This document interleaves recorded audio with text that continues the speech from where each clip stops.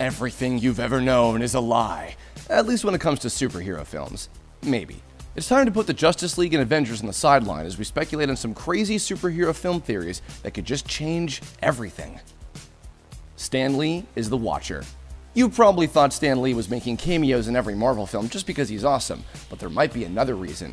Maybe he's actually playing the role of Uatu the Watcher. Who? Well, the Watcher is a cosmic being tasked with cataloging what happens on Earth without interfering. He watches everything from the background, exactly like Stan Lee.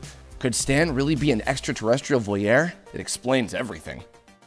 Wonder Woman and Aquaman are Kryptonian.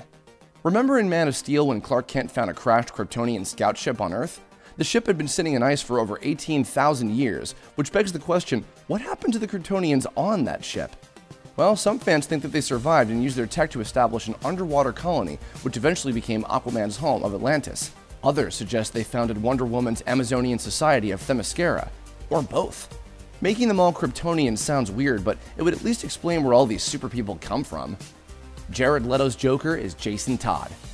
Stop us if you've heard this one, but there are some people who think Jared Leto's version of the Joker from Suicide Squad is actually Batman's former sidekick, Robin. Holy Benedict Arnold. In Batman vs. Superman, Bruce Wayne's Batcave had a memorial set up for what was presumably the last Robin, Jason Todd.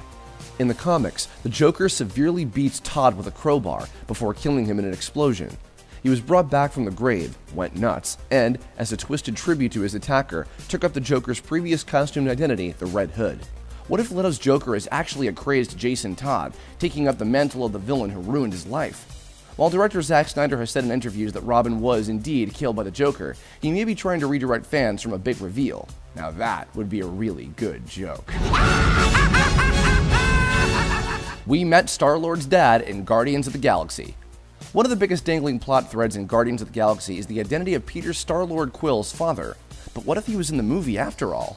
We know Quill's father's an alien, and that Star Lord has the ability to use an Infinity Stone without exploding, which is kind of a big deal.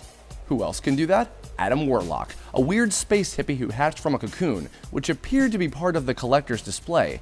Did it contain Star Lord's dad? We won't know until the sequel. The Red Skull still lives. The last time we saw the Red Skull, the Hydra leader was fighting Captain America for control of the Tesseract.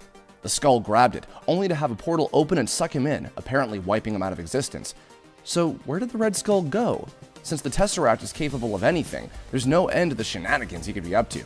Wherever he ended up, our money is on the Red Skull to survive and eventually return to the Marvel Universe stronger than ever before. Cut off one limb and all that, right? Thanks for watching. Subscribe to our YouTube channel to watch more videos like the one you just saw, and leave us a comment to let us know which superhero movie theories should have made the list.